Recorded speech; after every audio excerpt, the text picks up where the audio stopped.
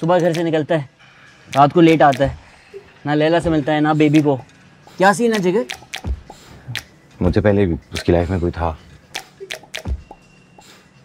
तूने बताया उसे अपनी गर्ल्स का?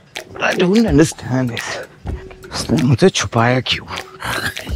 तो इस एक्शन फ़िल्म से बेहतर है जबान हिला मुँह खोल।